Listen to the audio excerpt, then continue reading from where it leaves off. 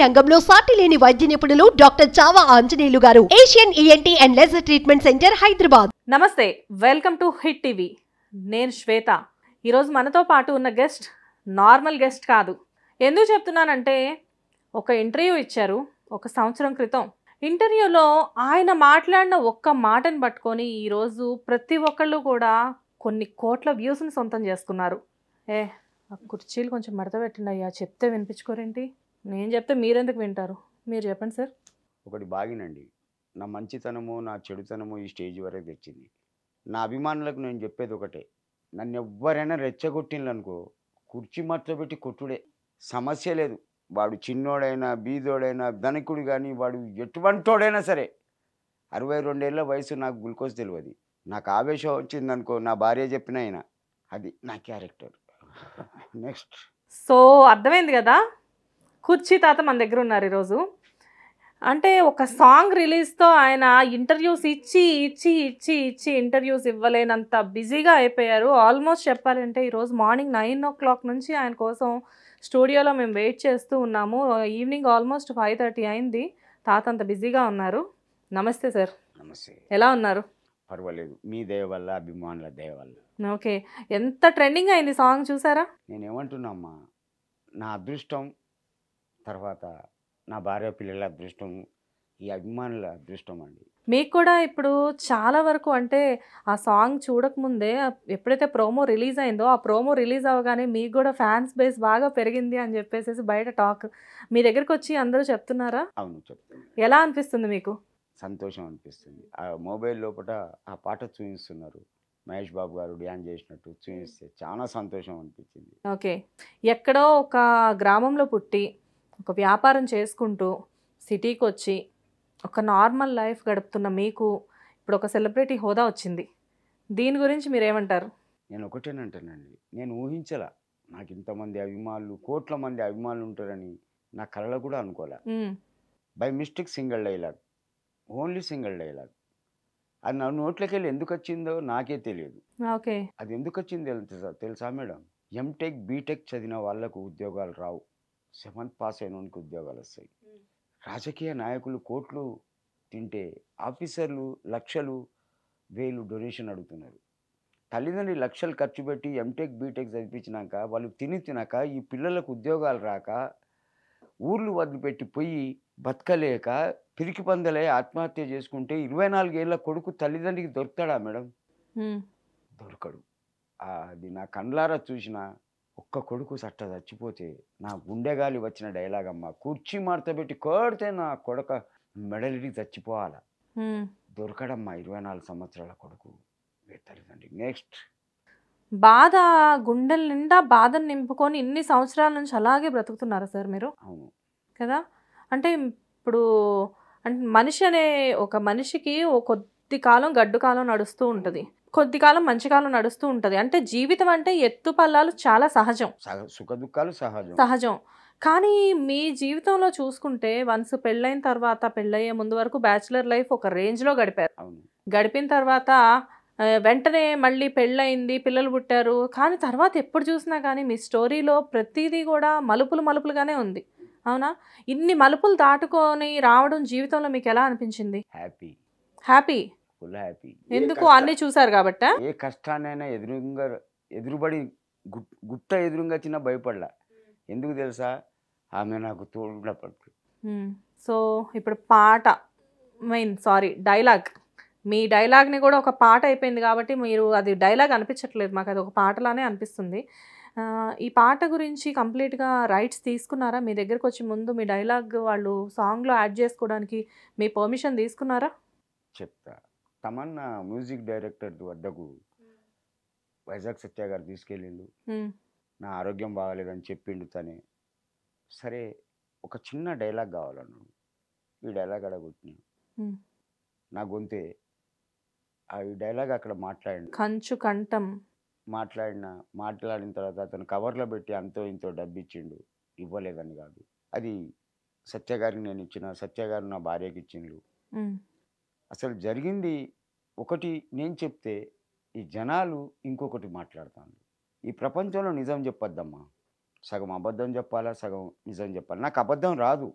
జీవితంలో అబద్ధం చెప్పాలా తప్పు చేయాలా. ఇంకొక మాట చెప్తానండి. నేను ఇంటికి ఒక్క కొడుకును. నాకు నలుగురు అక్కలు ఒక చెల్లె. హెల్త్ బాగలేక చెల్లి చచ్చిపోయింది. నలుగురు అక్కల నడుమ నేను పెరిగిన. అందరి పెళ్ళి అయినాక నేను లవ్ మ్యారేజ్ చేసుకున్నా. She is the my wife తెలుసు. థియేటర్కి తీసుకెళ్ళి కోకో కోలా ఇప్పించి మరీ ప్రపోజ్ చేసి పెళ్ళి చేసుకున్నారంటే నాకు అక్కడే అర్థం కాల. కోకో కోలా ఇప్పించి కూడా ఒక అమ్మాయిని పడేయొచ్చా అని చెప్పేసేసి. మన మాటలో ఉంటుంది మన ప్రవర్తనలో ఉంటుంది మేడం. నేను చెప్తున్నా కదా ఆడిపిల్లను ఎవడన్నా హెరాస్మెంట్ చేసిండు అనుకో నా కళ్ళ ముంగట వాని ఇంటికి పోయి కొడతానండి. నాకు అరవై రెండేళ్ళ వయసు మళ్ళీ చెప్తున్నా నాకు గ్లూకోజ్ తెలియదు ఉంటా ఇట్లానే సింపుల్గా. నా కోపం వస్తే ఎవరు చెప్పినా అయినా. ఆడిపిల్ల అంటే ఏమనుకున్నావు మేడం? అమ్మ ఆడిదే అక్క ఆడిదే చెల్లె ఆడిదే భార్య ఆడిదే దేవుడు పుట్టలేక అమ్మనిచ్చిండ్రా? అమ్మ అంటే అమృతం ఆ అంటే అమృతం మా అంటే మమకారం. ఈ రెండు అక్షరాలు కలిస్తేనే అమ్మ. ఎస్ అయితే మీరు సాంగ్ గురించి మధ్యలో మన టాపిక్ డైవర్ట్ అయింది. ఇప్పుడు సాంగ్ ఆల్రెడీ చాలా ట్రెండింగ్లో ఉంది. మీ దగ్గర నుంచి వాళ్ళు సాంగ్ ముందే ప్రోమో ఇచ్చే ముందే అంటే ఆ సాంగ్ రాసే ముందే మీ దగ్గర నుంచి వాళ్ళు ఆ, రైట్స్ తీసుకోవడం జరిగిందా? ముందే మీకు తెలుసా? తీసుకుంటున్నారు సాంగ్ ఇలాగ? నాకు తెలియదు. తెలీదు. తెలియదు. కానీ మరి అంత పెద్ద బ్యానర్ కదా మీరు నా డైలాగ్ పెట్టుకున్నారు అని చెప్పేసేసి మీరేమి వాళ్ళ మీద సీరియస్ అవ్వడం జరగలేదా?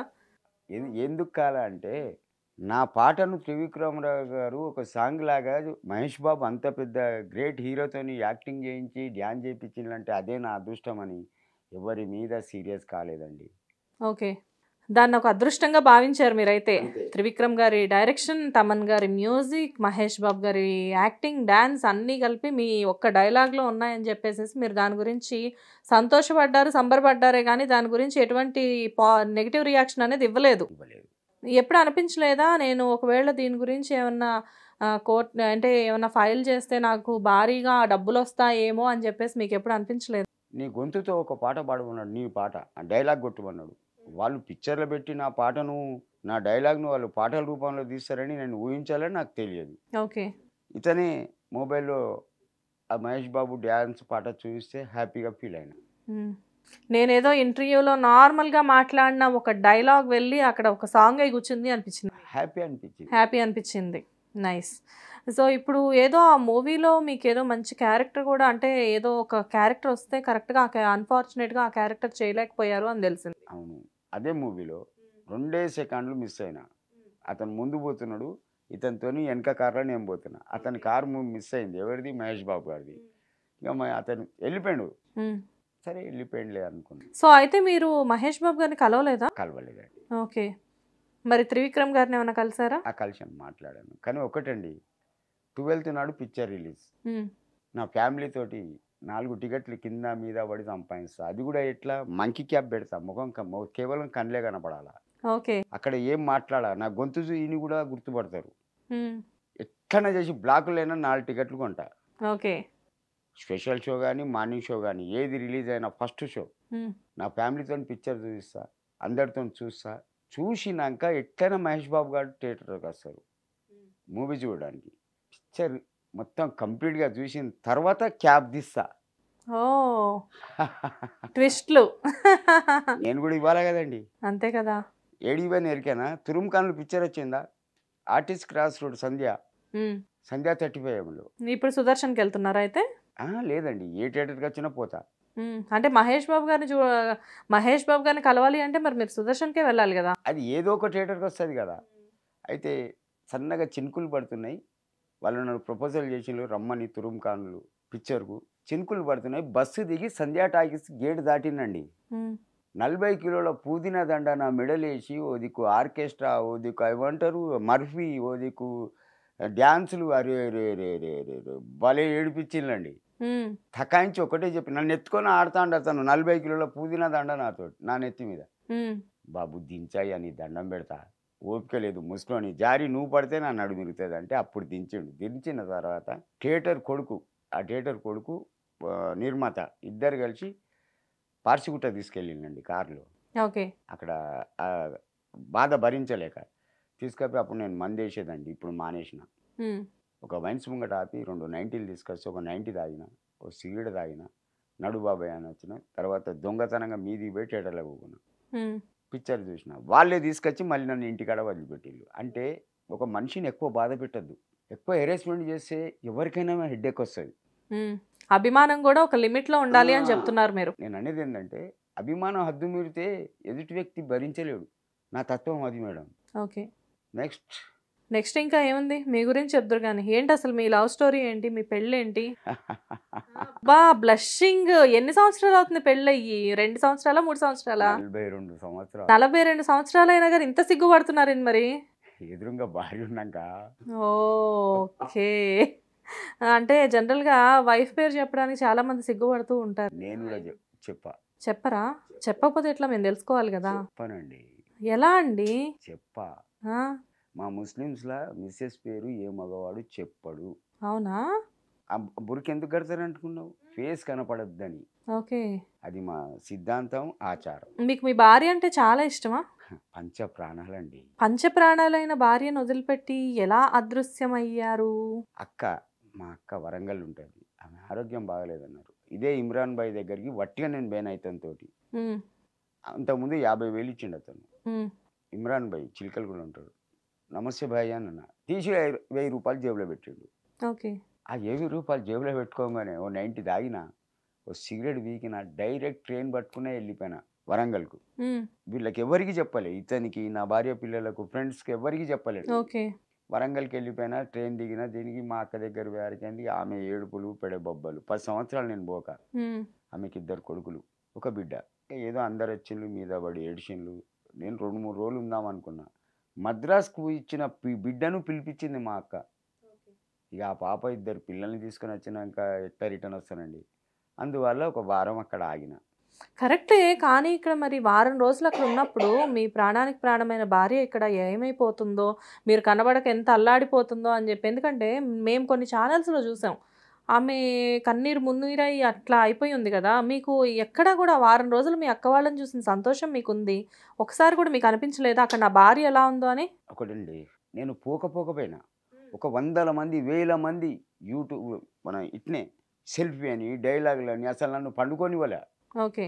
అనా అమాంతం ఎత్తుకపోయిన నా ప్రాపర్ అంటే కరీంబాద్ అని ఉంది ఇంకో బస్తీ అక్కడికి ఎత్తుకపోయింది అక్కడి నుంచి వెళ్ళి మళ్ళీ ఉర్సన్ ఉంది. అక్కడ ఒక దర్గా ఉంది. మాషూరబ్బన్ దర్గా అని అక్కడ ఒక రెండు రోజులు ఇక్కడ ఒక రెండు రోజులు ఇక్కడ అక్కడ వారం అయిపోయింది. వారం తర్వాత ఎనిమిదో నాడు సత్య గారు తర్వాత ఒక డైరెక్టర్ కారునిచ్చి ఇతను పంపితే ఇతని దయ వల్ల మళ్ళీ నేను గమ్మున వచ్చేసిందండి సో మీరు వెళ్ళారు వచ్చారు బాగానే ఉంది. కానీ బయట జనాలను చూస్తే ఎందుకు బయట జనాలందరూ ఈయనకి తమన్ గారు గట్టిగా డబ్బులు ఇచ్చారు ఆ డబ్బులను తీసుకొని ఎంజాయ్ చేయడానికి మాత్రమే ఆయన కనబడకుండా అదృశ్యమయ్యారు అని ఎందుకు మాట్లాడుతున్నారు? నేను ఇంతకుముందే చెప్పినండి. ఈ జనాలకు నిజం చెప్పొద్దు. నన్ను ఎంజాయ్ చేయాలంటే అందానికనే పోవాలనా? నాకేమైనా వేరే కోరికలున్నాయా? ఒకప్పుడు తాగినా ఇప్పుడు మానేసిన. నిజం చెప్తే నేను చెప్తున్నా కదనండి జనం నమ్మది.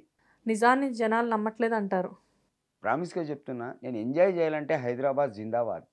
Erragadda Rythu Bazar Moosapet Ameerpet Maitrivanam Panjagutta NIMS any place in the Charminar వరకు ఇటు ఎల్బీ నగర్ వరకు ఎక్కడ కానీ నన్ను గుర్తుపడతారు. ఓకే. కూర్చుండబెట్టి తాగబెడతారు తినబెడతారు.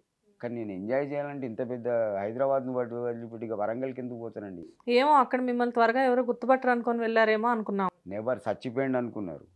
పది సంవత్సరాలు నేను పోక. యూట్యూబ్లో చూసి నన్ను చూసేవారు స్టన్ అయిన్లు. రైల్వే స్టేషన్లో ఇట్లా కదం పెట్టిన అంతే. హమాలోళ్ళు జనాలు. ఇతను నువ్వేనా? "ఆ, నేనే. నేనే? అంటే ఒక్కొక్కరికి ఒక్కొక్క రాత ఉంటుందండి. ఎంత సార్ మీ ఏజ్ ఎంత? Sixty two. ఇప్పుడు ఇవాళ sixty two close sixty three start. ఓ ఈరోజు మీ birthday. Wow happy birthday to you sir. Thanks. So మేము కూడా మీ బర్త్డేని అంటే మీ బర్త్డే రోజు మీరు మా దగ్గరికి రావడం కూడా మేము అది కూడా ఒక హానర్గా భావిస్తున్నాం నిజానికి. మీ మీ అభిమానం. సో మీకు ఒక చిన్న సర్ప్రైజ్. మీరు ఇప్పుడే చెప్తున్నారు మీ బర్త్డే అని చెప్పేసేసి. అనుకోకుండా బర్త్డే రోజు వచ్చారు మా హిట్ టీవీ ఎవరినైనా సంతోష పెట్టడంలో చాలా ముందుంటుంది. బర్త్డే రోజు మీరు వచ్చారు కాబట్టి మా తరపు నుంచి మీకు ఒక చిన్న సర్ప్రైజ్. ఓకే. ఓకే?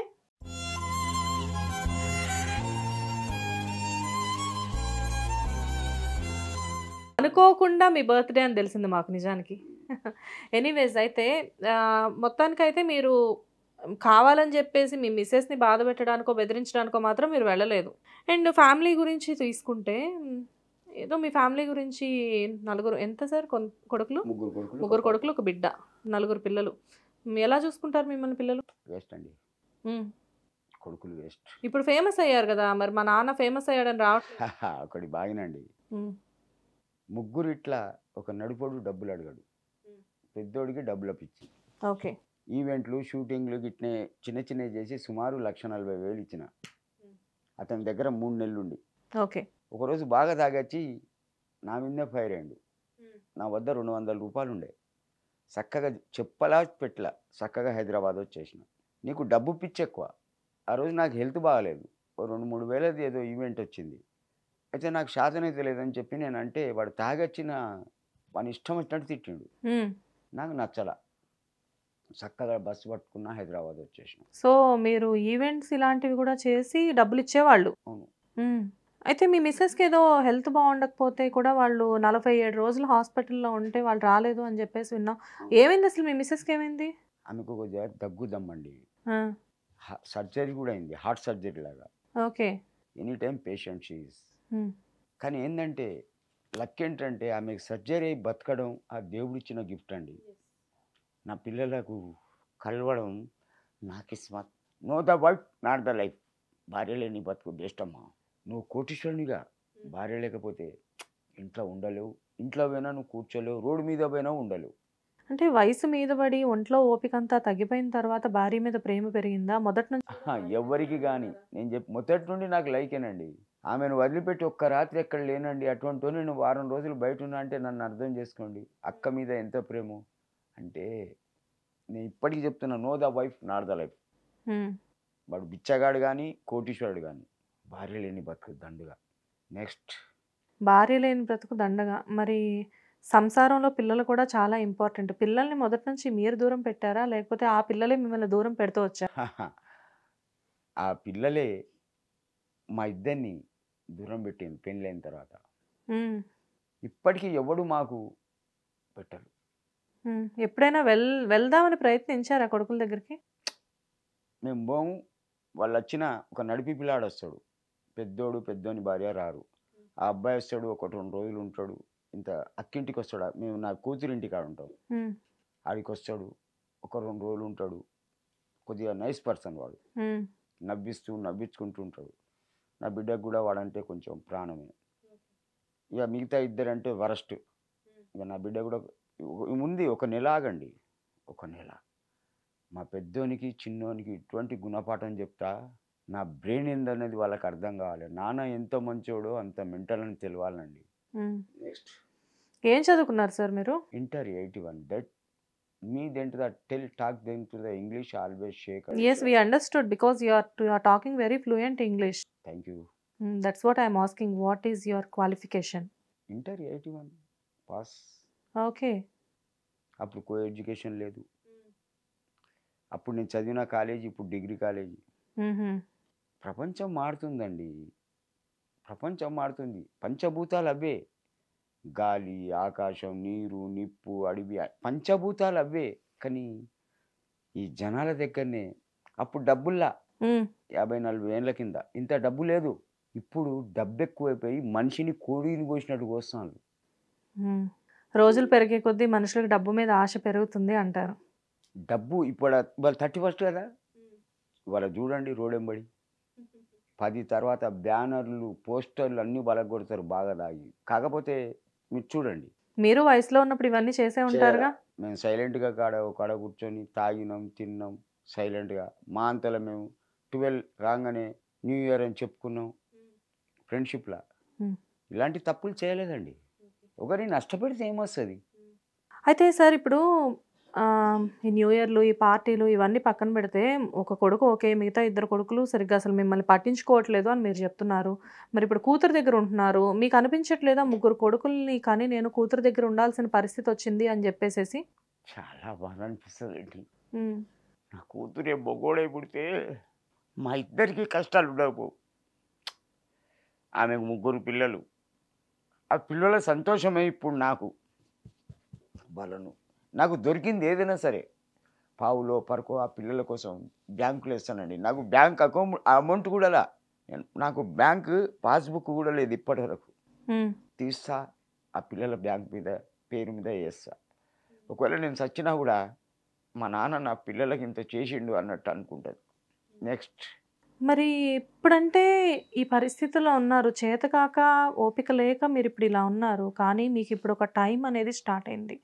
దాన్ని పక్కన పెడితే ఇంతకాలం మీరు ఎర్రగడ్డ రైతు బజార్లో కూరగాయలు అమ్మారు మీ వరంగల్లో బిజినెస్ చేశారు అంటే ఈ కూరగాయల వ్యాపారమే చేశారు ఇంకా ఏవో ఒకటి చేసుంటారు మరి ఇన్నాళ్ళు సంపాదించింది ఎప్పుడు కూడబెట్టుకోవాలనిపించలేదా? ఎందుకు ఎందుకు తెలుసా? మనసులో ఒక బాధ. ముగ్గురు పిల్లలుండి తండ్రిని ఒక పిచ్చోనిలాగా తల్లిని ఒక అమాయకురాలను చేసి గాలికి వదిలేసిండు. మీ భార్యను కూడా అసలు అమ్మ అంటే ఆ మగపిల్లలకి ప్రేమ ఎక్కువ ఉంటుంది కదా? మీ భార్యను కూడా అసలు ఎప్పుడు పట్టించుకునే ప్రయత్నం చేయలేదా? చేయలే. హాస్పిటల్ అడ్మిట్ చేసి ఇవ్వాలి రాలేదండి. సుమారు ఒక నెల రోజులు. కొడుకుల సంగతి సరే. సాటి ఆడదని చెప్పేసి కోడళ్ళు కూడా రాలేదా? అత్తగారు అన్న ప్రేమ ఉంటుంది. నెవర్. నా మా బిడ్డేనండి. పిల్లల్ని సంకలేసుకొని వచ్చి హాస్పిటల్ సేవ నా కంటి ఆపరేషన్ అయినా కూడా ఎవరు రాలా. నా పాప చేయించింది ఆపరేషన్. బాధ వర్ణించమ్మా ఉమ్, చాలా వర్ణాతీతం. ఇప్పుడు నాకు వచ్చిన అవకాశానికి వాళ్ళకి తెలిసి వస్తారు. కంపల్సరీ వస్తారు. అడుగు పెట్టనివో ఇంట్లో. వచ్చి కాళ్ళ మీద పడితే దగ్గరకు తీసుకోకుండా ఉంటారా? గుండె కోసి నాకు ఇచ్చినా కూడా నాకు అవసరంలా తండ్రి ప్రేమ కదా. నెవర్ పుట్టలేదనుకున్నానండి. అమ్మ హాస్పిటల్లో చావు బతుకుల మధ్య ఉన్నదంటే రాని కొడుకులు నాకెందుకు?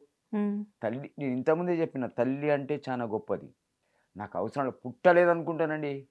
ఒకటే కొడుకు ఒక్కటే బిడ్డ అనుకుంటా. చిన్న చిన్న పిల్లల్ని వేసుకొని నా బిడ్డ వండుకొని టిఫిన్ తీసుకొచ్చి అమ్మకి తినబెట్టి పోయిందండి దానికి అవసరమా నా పాపకు. కూతురు మన కూతురే. అల్లుడు మనవాడు కాదుగా? అయినా అతను ఏమనలే ఎన్నడు. నెక్స్ట్ చెప్పండి మీరే ఇంకా. ఎందుకంటే ఏం లేదు ఒకటేనండి. నేను జనాలకు ఇచ్చే సందేశం. ఎవరైనా సరే అమ్మను అమ్మను గౌరవించనోడు తాతకు విలువ నాన్నకు విలువ నీయనోడు కొడుకు కాదు. నా దృష్టిలో వాడు చచ్చినట్టే. నెవర్ అమ్మకి నాన్నకి విలువ ఇవ్వని కొడుకు కొడుకు కాదు. కాకపోతే ఏంటంటే ఆ కొడుకులకు కూడా పిల్లలు ఉంటారు రేపు పొద్దున వాళ్ళకి అదే పరిస్థితి రావచ్చు. భగవంతుని దేవల్ల రావాలా? రావాలి అని మీరు కోరుకుంటున్నారా? ప్రపంచంలో ఏ ఒక్కరైనా చెప్పారా అమ్మ నన్ను చూడని కొడుకు కోడలు ఎందుకని? వాళ్ళకు అడగరా? ఇక్కడ మీరు ఏడుస్తున్నారు స్ట్- కెమెరా ముందు లేకపోయినా కానీ పక్కనున్న మీ మిస్సెస్ కూడా ఇందాక నుంచి కన్ అలా కళ్ళల్లో నీరు కారుతూనే కారుతూనే కారుతూనే ఉంది. అంటే మనసులో ఇంత స్థాయి ఇప్పుడు మీకు ఒక హోదా వచ్చినప్పటికీ కూడా మనసులో మాత్రం అగ్నిగుండాలు అనేవి అలా కదులుతూ ఉన్నాయి కదా?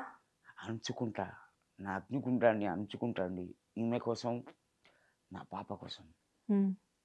నా ఎదురు పడాలి నేను నిజంగా చెప్తున్నా నా పెద్ద కొడుకు కానీ నా చిన్న కొడుకు కానీ ఒక్కటే గుద్దు గుద్ది చంపుతానమ్మా. ఎందుకు వచ్చినావు డబ్బు కోసమా? కేవలం నీకు డబ్బే కావాలిగా. నువ్వు నాకు పుట్టాలి నా ఇంటి ముంగటికి ఎందుకు వచ్చినావు? అసలు ఊ ఆర్ యు నువ్వెవడివి సర్టిఫికెట్ ఉందా? వీనికే తండ్రి అని? నా తండ్రి ఇతనేనని? తల్లిదండ్రిని నేర్పించిన కొడుకు ఎందుకమ్మా? నాకు చచ్చినట్టే లెక్క. Okay sir. అంటే మిమ్మల్ని మీ పిల్లల గురించి అడిగి మీ ఫ్యామిలీ గురించి అడిగి ఇప్పటికే చాలా ఏడిపించాను. So back to movie. Okay. పాటతో మీరు ఫేమస్ అయ్యారు. దీన్ని పక్కన పెడితే ఏదో మీకు సినిమాలో యాక్చువల్గా అసలు ఒక అంటే ఎలాంటి పాత్ర కోసం మిమ్మల్ని అడిగారు? మీరు ఏ పాత్ర మిస్ అయ్యారు ఈ సినిమాలో? ఇదే డ్యాన్స్. ఇదే ఈ పాట నేను డ్యాన్స్ చేయగలను. ఓ మీరు డాన్స్ చేస్తారా? ఓకే. డాన్స్ చేయగలరు అయితే మీరు. ఇప్పుడు మరి మా కోసం చేసి చూపించవచ్చు ఓ పాట పాడతా. పాడండి. వస్తనంటివి నాతో వస్తనంటివి. పోదమంటివి వెళ్ళిపోదమంటివి ఏదో చెప్పి ఏదో చేసి చివరికి నన్ను ఒంటరి వాణ్ణి చేసి వెళ్ళిపోతివి. నీ గూటికి చేరిపోతివి. ఏ మెరగని ఎదలో ఏ మెరగని ఎదలో ఎన్నో ఆశల ఊసులు నేర్పి ఏ మెరగనట్టు ఎగిరిపోతివి నీ గూటికి చేరిపోతివి. మంచోని గనక మంచి మనిషిని గనక మనసున్న వాడినై మనసులోకు వెలగట్టి మనసార కొలిచిన మొగాడినమ్మా నీ మొగడినమ్మా. ఈ పాట మీరే రాసారా నా పాటే. మీ పాటే? అంటే ప్రతి వర్డ్లో కూడా ఏదో కనపడుతుంది ఇక్కడ. ఫీలింగ్ ఉంటుందమ్మా. ఖచ్చితంగా. అంటే నేను ఫస్ట్ మీరు పాట పాడతాను అంటే ఏదో సినిమా పాట పాడుతున్నారేమో అని చూస్తూ ఉన్నాను. కానీ సినిమా పాట కాదు మీ పాట. మీ బాధలోంచి పుట్టుకొచ్చిన పాట మీ ప్రేమలోంచి పుట్టుకొచ్చిన పాట. రెండు. ఇప్పుడు పిల్లల కోసం సర్వస్వం చేసిన వాళ్ళు ఎంత పెద్ద తప్పు చేసినా చెయ్యెత్తి కొట్ల. ఏ నా కొడుకు ఏం చెప్పని ప్రపంచంతో కొట్లాడిన. అవురా చిన్నపిల్లాడు ఏదో తప్పు చేసిండు తండ్రికి చెప్పాలి వాడి మీద చేయి ఎందుకు వేసినావు. అంతే కదా. అని నేను ఎదురు తిరిగిన వాళ్ళ కోసం. కానీ వాళ్ళని బెదిరియలే కొట్టి కొట్లే పోనీ నా కొడుకే తప్పు చేసిండు. నేను కొడితే వాళ్ళ మళ్ళీ వాడు పారిపోతే దొరకడు అని ఆ ఉద్దేశంతో గమ్మునుకున్నా కొట్టకే కొడుకులు కొరివై కూర్చున్నారా? పక్క. అంతేనా? చిన్నప్పటి నుంచే కొట్టుంటే కొడుకులు ఈ ఈ విధంగా తిరగబడేవాళ్ళు కాదు అంటారా? మా దాంట్లో సామెత ఉన్నది. బేటీ రోటీ బేటా దలిందర్ అని. బేటీ రోటీ బేటా దలిందర్ ఓ. అందరు కొడుకులు ఒకేలా ఉంటారని మీరెలా చెప్తారు? నైంటీ పర్సెంట్ ఉన్నారండి. మీరు ఒక కొడుకే కదా? నేను అలా చూడలా. ఉమ్, ఆ టెన్ పర్సెంట్లో మీరున్నారా? నేను అలా చూడలా. నా అక్కలకు నా ఇల్లే రాసి ఇచ్చిందండి ఇప్పుడు అమ్ముకుంటే సుమారు అరవై డెబ్బై లక్షలు వస్తాయి. ఓ. నేను లవ్ మ్యారేజ్ చేసుకున్నందుకు ఏమి ఇచ్చినావు ఏమి ఇచ్చినావు ఏమి ఇచ్చినావు అంటే ఇల్లే రాసి ఇచ్చినా ఏమైనా చేసుకోపోలేని ఉమ్, పెదవి పెదవి ఇప్పలే ఎందుకు ఇచ్చినావు అని అదే నా కొడుకు ఈర్ష అత్తలకి ఇచ్చిన మాకేమి ఇచ్చావు అని చెప్పు. ఏముంటుంది నువ్వు సంపాదించుకో. నీకు ధైర్యం లేదా? సంపాదించేది? దట్స్ ఇట్ చెప్పమ్మా. అయితే నెక్స్ట్ ఇప్పుడు మూవీలో మీకు ఒక మంచి రోల్ ఇచ్చారు అది మిస్ అయ్యారు. కాకపోతే నెక్స్ట్ ఇంకేదో ఆఫర్ ఉందని చెప్పేసి విన్నా. ఏంటి సార్ అది? అల్లు అర్జున్ గారితో ఫిబ్రవరిలో ఉంది.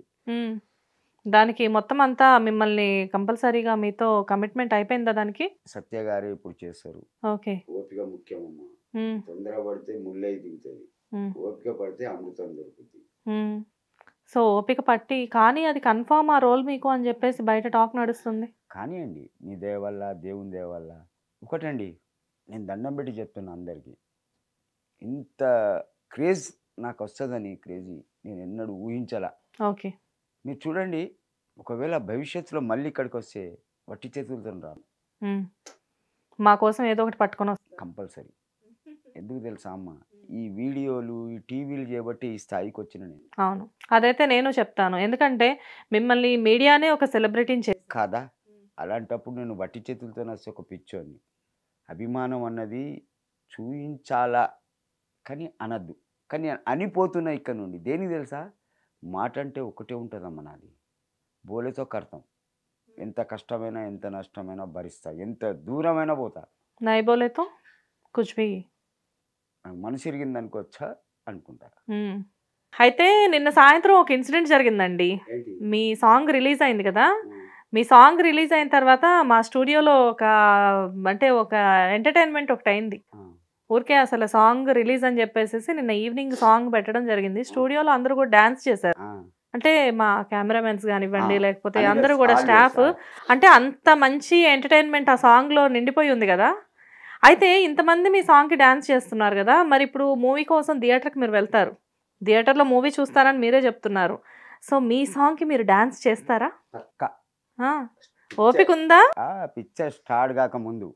నేను థియేటర్ స్టాఫ్ని కానీ మేనేజర్ని కానీ ప్రొపరేటర్ని కానీ హాఫ్ అన్ అవర్ బిఫోర్ నన్ను పంపండి.